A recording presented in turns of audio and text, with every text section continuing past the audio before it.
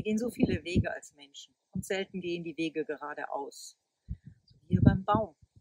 Das ist gut, wenn auch mal ein Bogen gegangen wird. Und das Wichtigste ist, dass man ein gutes Fundament hat, starke Wurzeln, dass man wachsen kann und dass man Früchte trägt. Und das wünsche ich Ihnen für Ihren synodalen Weg.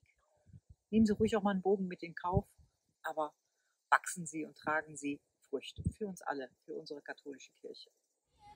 Ich wünsche euch Kraft und Standfestigkeit, wie dieser Baum sie hat, für all eure Argumente. Ich wünsche euch Wurzeln, die euch tragen in eurem Glauben. Und ich wünsche euch Zuversicht, dass die neuen Wege zu guten Veränderungen in der Kirche führen. Ohne uns Frauen fehlt die Hälfte der Kirche.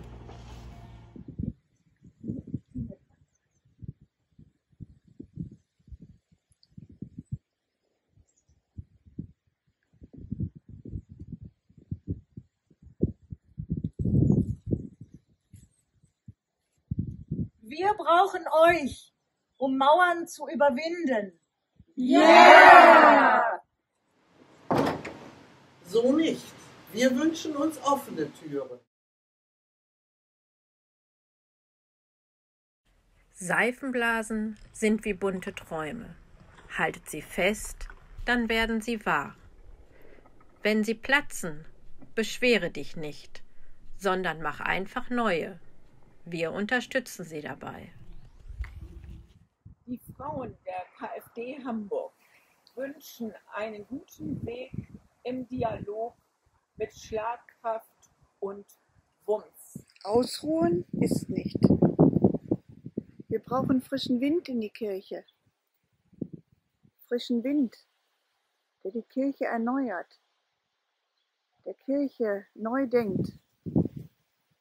Das erhofft sich der KfD-Diözesanverband Osnabrück. Die KfD Mainz wünscht Ihnen viel Kraft und Durchhaltevermögen. Fühlen Sie sich berufen und frei und bleiben Sie sich selber treu.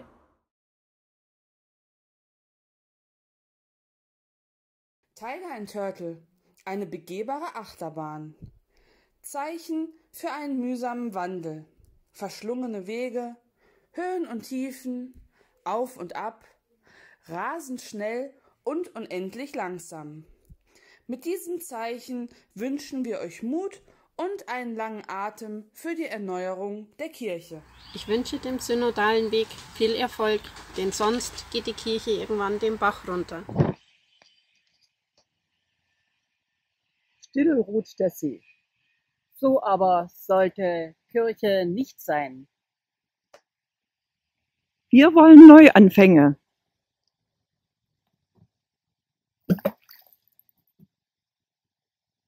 Wir Frauen sind Kirche. Ohne uns hat auch der Dom keinen Halt mehr.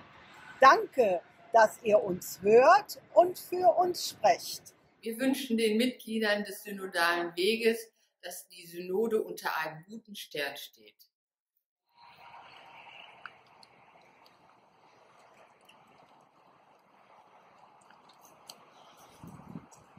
Damit die Frauen in der Kirche eine Stimme erhalten, müssen die Osnabrücker Thesen umgesetzt werden.